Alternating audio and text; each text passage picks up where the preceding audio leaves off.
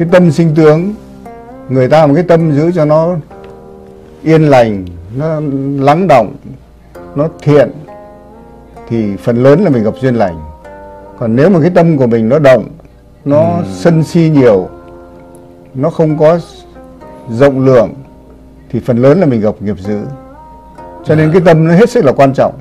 Một cái tâm với cái thần khí nó đi đôi với nhau như là hình với bóng. Cái tâm mà yên lặng thì cái thần khí nó trầm tĩnh và tai họa ít xảy ra Ừ.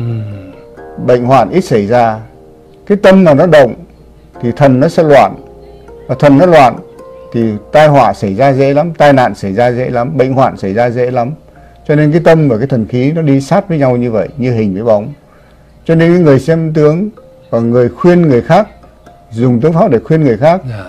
cố làm sao để mà trình bày vấn đề để cho cái tâm người ta nó không có không có Bị động. Phá cái thần khí À. nó phá cái tương lai nó phá cái cái cái cái mà người ta đáng nhẽ không cần làm gì cả người ta cũng đạt được. Vâng. cho nên nếu mà xem tướng mà dọa người khác thì cái đó là một cái tội hết sức lớn.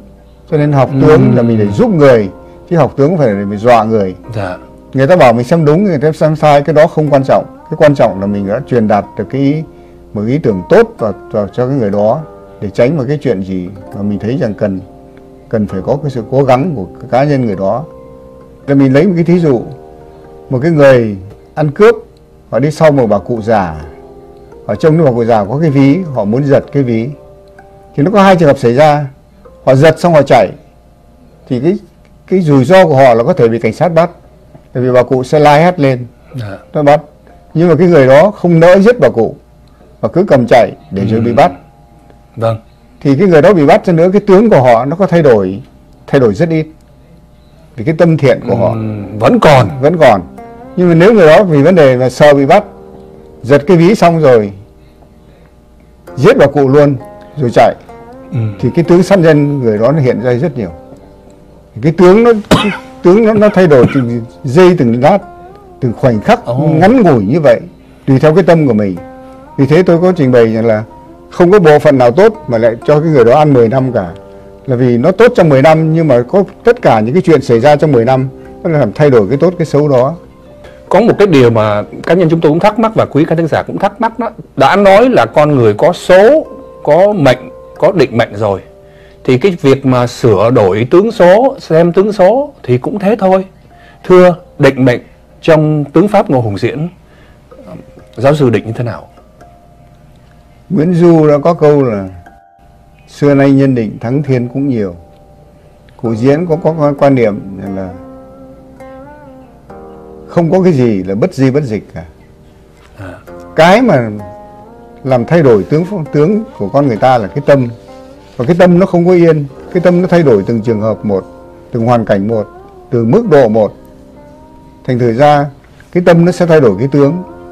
Không có thể nào có một người nào có thể nói rằng là ngày mai ông chết cả không có À. một ông thầy tướng nào có thể giỏi đến cái độ mà nói là ngày mai ông chết được. Là vì cái người đó từ nay đến ngày mai họ có thể làm nhiều thứ lắm. Họ có thể làm những thứ để họ chết ngay tối hôm nay.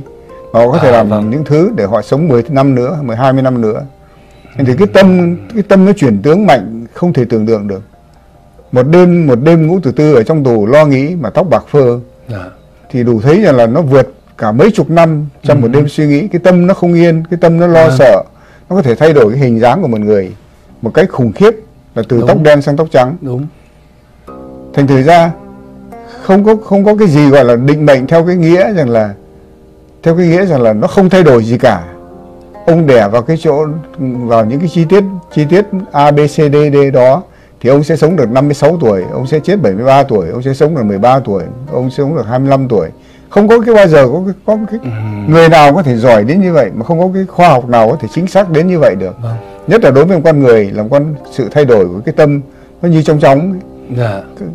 nhà Phật nói là cái tâm nó như con con khỉ nó nhảy lung tung sự thật vậy nó còn hơn con khỉ nhiều nó còn bằng một triệu con khỉ nhảy Dạ. chứ không một con khỉ nhảy nó nhảy đủ mọi phía nó nhảy đủ mọi cách nó cào cấu đủ mọi cách Dạ. cho nên cái tâm cái tâm nó quyết định cái sự sống chết cái sự thành bại lớn nhỏ cái đời sống an lành hay là hay là thất bại của một người chứ không phải là vấn đề là cái chi tiết một hai ba bốn của cái sự của cái ngày đẻ bảo là có nên học tướng hay không nên học tướng thì mình đừng quan quan niệm nó là cái môn học thì nó ghê gớm lắm Dạ. chỉ có cái chuyện là nó đưa cho mình đến một đời sống mà an lành như cái câu tôi viết tôi cảm ơn cụ diện ừ. là làm sao mình có một đời sống an lành tức là mình biết cái người kia nó xấu quá mình tránh nó đi mình không Ừ. chơi với nó thì thôi mình tránh nó đi mình chẳng nói xấu nó làm gì mình biết cái người tốt thì nếu họ có làm cái chuyện gì mà sơ sót thì mình cũng suy xóa đi. Đừng có vì một cái chuyện sơ sót của họ mà mình mất một người bạn tốt. Thì Ừ. học xem học xem tướng là để mình biết cách làm sao để cho cái đời sống mình nó an lành một chút. Nó càng an lành chừng nào thì cái đời sống mình càng gọi là thành công chừng đó. Giàu có danh vọng có thật đấy nhưng mà nó không an lành thì cũng vậy thôi